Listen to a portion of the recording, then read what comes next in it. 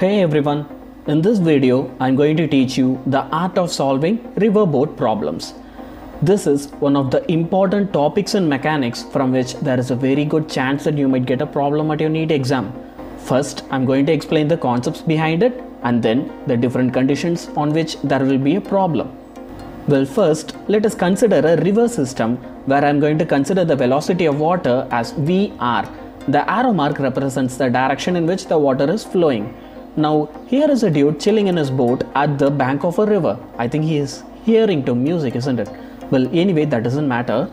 Now, the velocity with which the boat will be moving shortly, that I'm going to consider it as VB, where B represents the boat.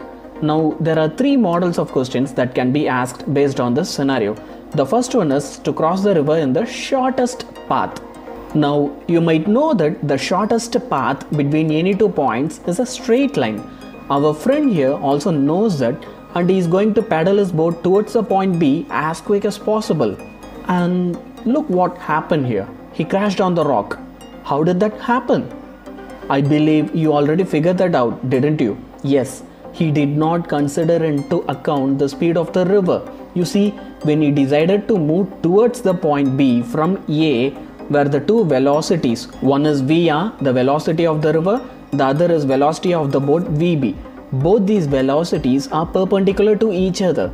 This caused another resultant velocity which carried him in a different direction and crashed him. Let's run this scenario all over again, but this time a little differently. The target here is to reach point B from A, right?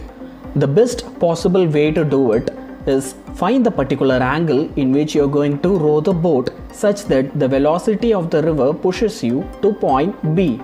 And we are going to do it by moving against the velocity of the river such that the resultant velocity acts towards the point B.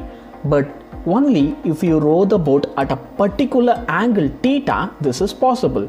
So first you need to find this particular angle theta. Now look at the blue line that represents the velocity of the river.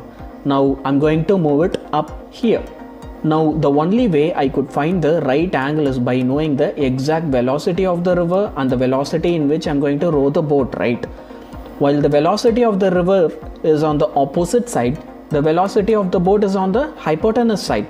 So using sine theta to find the angle will be the best choice here, isn't it? So the formula to find the angle in this scenario will be sine theta is equal to VR divided by VB.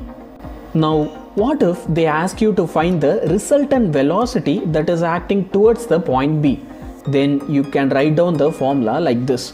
V square is equal to VB square minus VR square. So V is equals to root of VB square minus VR square.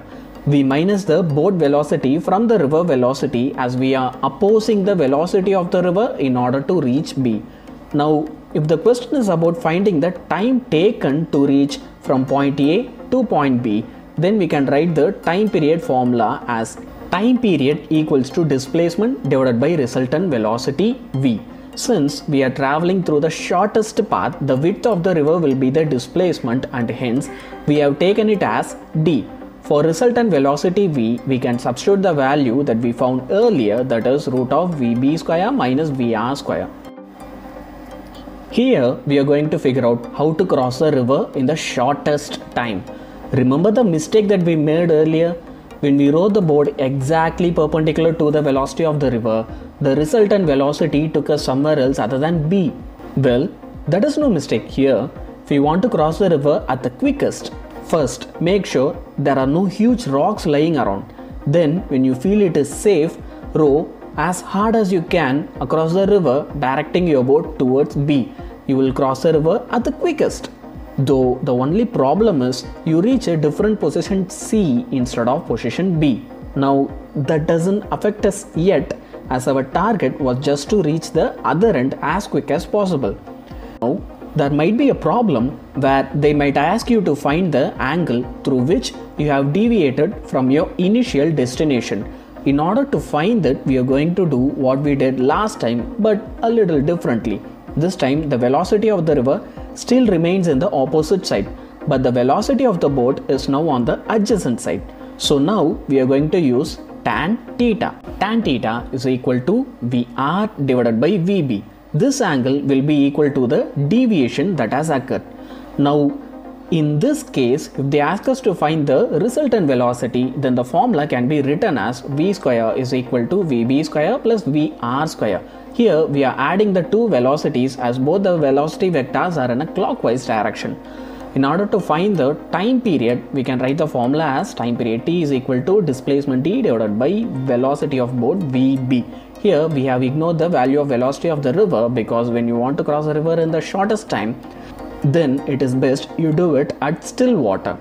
Now, there is one more possible question they might ask from this scenario. Yes, you have reached the other end at the shortest time also, but now the boat has reached point C rather than reaching point B. Then they might ask you to find the distance between point B and point C. Let us consider the distance between BC as x. Then using tan theta, we can find that tan theta is equal to x divided by d. We already know that tan theta also equals to VR divided by VB. So VR by VB is equal to x divided by d. Then the value of x should be equal to displacement d into VR divided by VB. So and finally there are just two more cases and we can get rid of this topic for very good. The blue arrows here represent the direction in which the river is flowing. Our guy here, still chilling with his music, is also rowing his boat in the same direction as the river. This condition is what we call as downstream. If a man travels downstream in a river, then the time taken by the man to cover a distance d is given by t1 is equal to displacement d divided by vb plus vr.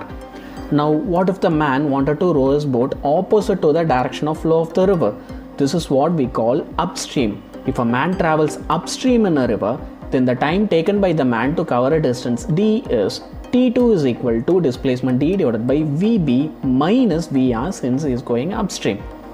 There might be some scenarios and problems where both upstream and downstream conditions might apply in the same problem and you will be asked to find the ratio of the time periods then the ratio of the downstream to upstream can be written as T1 divided by T2 is equal to VB minus VR divided by VB plus VR. So these are the necessary formulas and possible scenarios from which there might be a problem based on the riverboat concept in NEET exams. Make sure you revise all these problems and when the time comes, don't mess up. If you do understand and like this video, please subscribe to Mottai Maadi Tuition.